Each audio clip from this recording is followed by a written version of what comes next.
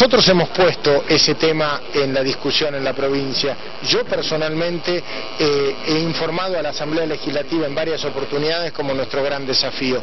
Nosotros podemos decir que hemos bajado los, niveles de, mortalidad por desnutrición infantil de una manera notable en estos cinco años.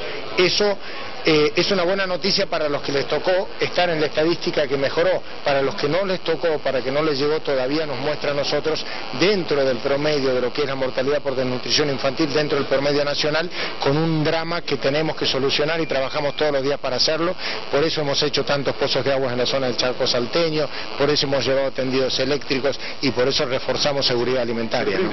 Rivadavia, el lugar donde se ha trabajado fuertemente con el Fondo de Reparación Histórica? Es que lo que pasa es que justamente valida la presencia de ese fondo de reparación histórica esa situación social, por eso lo hemos hecho.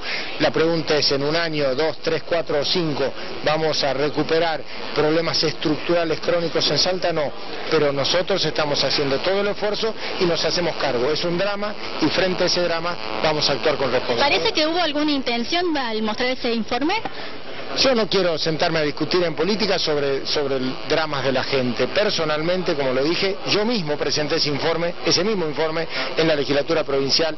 Hay comunicación, hasta spot publicitario del propio gobierno en donde yo le pido a los salteños que me ayuden a hacer esa tarea y la estamos haciendo. Hemos logrado, como decía, mejorar muchísimo en eso, pero lo que hicimos hasta ahora no alcanzó. Lo que dijo la nata, gobernador, es cierto lo que presentó ayer. Eh, nosotros tenemos, ayer se, se habló de, dos este, eh, eh, niños cuchis que habían fallecido. En Salta la tasa de mortalidad por desnutrición infantil es de 12,5 por mil, por lo cual son mucho más que dos. Es un drama que tenemos.